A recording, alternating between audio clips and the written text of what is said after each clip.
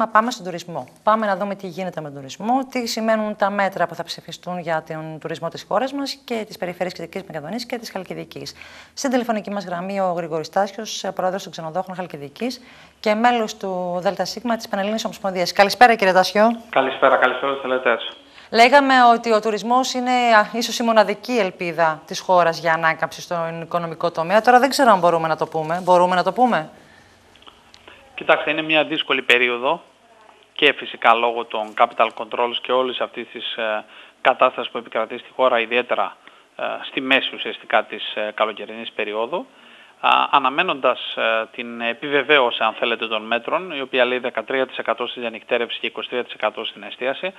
Αν ισχύσει αυτό που ακούγεται από 1 Οκτωβρίου, το 13% αυτό είναι πολύ θετικό για τη φετινή σεζόν, διότι φέτος ουσιαστικά ήταν και το πρόβλημά μας σε πρώτη φάση.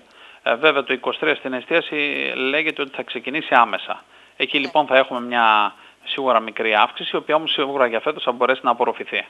Για το 2016 που έχουμε τα νέα δεδομένα, που σημαίνει πολύ απλά για να καταλαβαίνουν και οι συνάδελφοι και οι τηλεθεατές, ότι το μέσο τουριστικό πακέτο θα δημορφωθεί στο 16% ΦΠΑ. Δηλαδή 13% από την ε, διανυκτέρευση 23% από την εστίαση με έναν μαθηματικό τύπο θα είναι στο 16. Σήμερα είναι στο 8.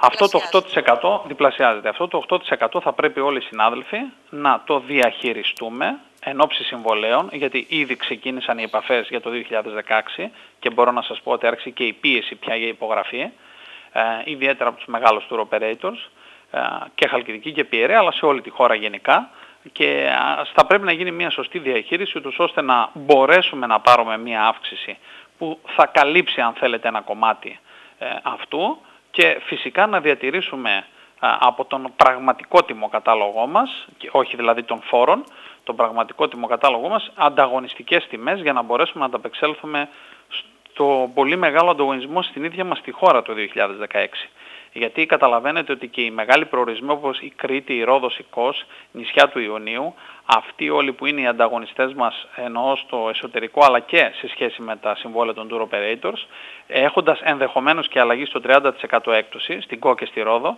καταλαβαίνετε ότι θα υπάρχει μια πολύ μεγάλη ε, κινητικότητα όσον αφορά τους τιμοκαταλόγους και τον ανταγωνισμό σε αυτό το κομμάτι. Άρα λοιπόν θέλει ε, σωστή περισυλλογή, και σωστές αποφάσεις, ούτως ώστε να μην χαθεί η επόμενη χρονιά. Η προσωπική μου εκτίμηση είναι ότι θα πρέπει όλοι να κάνουν κάτι πολύ λελογισμένο, ούτως ώστε ε, να πάμε σε μια χρονιά που θα μπορέσουμε να διατηρηθούμε στην αγορά έτσι απλά. Ε, γιατί σίγουρα η ανάκαμψη θα μπορέσει να έρθει από, το, ε, από άλλες χρονιές και πέρα. Μην ξεχνάμε ότι φέτος πάρα πολλοί συνάδελφοι έχουν προχωρήσει εξτρά εκτός στην περίοδο του Μαΐου βλέποντας ότι η σεζόν δεν πάει τουλάχιστον σε ένα 20% μέσο όρο. Ε, ήδη έρχονται οι tour operators και ζητάνε ως βάση συζήτησης με αυτές τις τιμές τις εκπτωτικές και γενικώς μην ξεχνάμε ότι με ηφαισιακά μέτρα τα οποία έρχονται σίγουρα θα υπάρχουν προβλήματα και στη ρευστότητα αλλά γενικότερα στη λειτουργία των ξενοδοχειακών επιχειρήσεων που αυτό θα βγει και μπροστά μας. Άρα το μεγάλο στοίχημα είναι, από όσο αντιλαμβάνομαι, οι τιμές να παραμείνουν καλές, ακόμη και αν αυτό σημαίνει ότι θα πρέπει να επιβαρεθούν οι ίδιοι οι ξενοδόχοι για να μπορέσουν να κρατήσουν τον κόσμο και να φέρουν περισσότερο. Και ένα δεύτερο που θέλω να σας ρωτήσω είναι αν ε, από τη στιγμή που ανακοινώθηκε η συμφωνία, αν διαπιστώσατε αλλαγή. Αλλαγή στο κλίμα, στην ατμόσφαιρα, στους τουρίστες, αν σταμάτησαν οι ακυρώσεις. Θα έλεγα ουσιαστικά ότι δεν έχει αλλάξει κάτι ε, όσον αφορά τη ζήτηση ε, αλλά στις ακυρώσεις έτσι κι αλλιώς ήταν το πρώτο διάστημα. Ε, η ζήτηση είναι το ζητούμενο από εδώ και πέρα. Δεν έχει αλλάξει κάτι σε μεγάλο βαθμό για να πούμε ότι αμάν αν θέλετε γεμίσαμε τον Αύγουστο.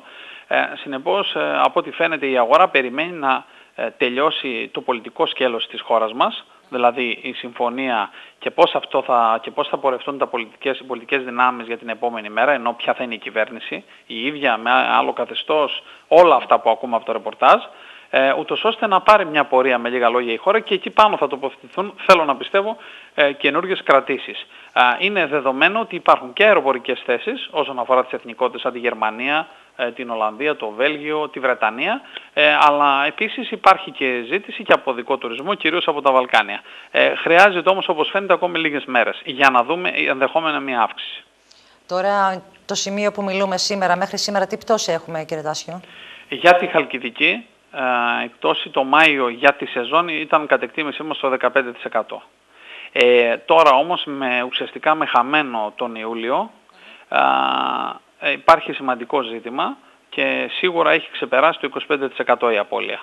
Ε, αναμένουμε να δούμε πώς θα πάει το επόμενο τρίμηνο, δηλαδή ε, Αύγουστος, Σεπτέμβριος και Οκτώβριος, έστω 10-15 μέρες, για να δούμε πού θα καταλήξει. Σαφώς είναι μια κακή χρονιά και για τη Χαλκιδική.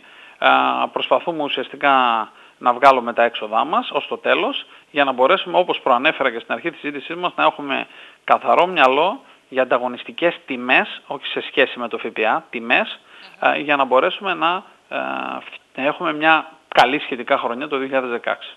Μάλιστα κύριε Τάσιο, σας ευχαριστώ θερμά για την παρέμβαση. Να είστε καλά.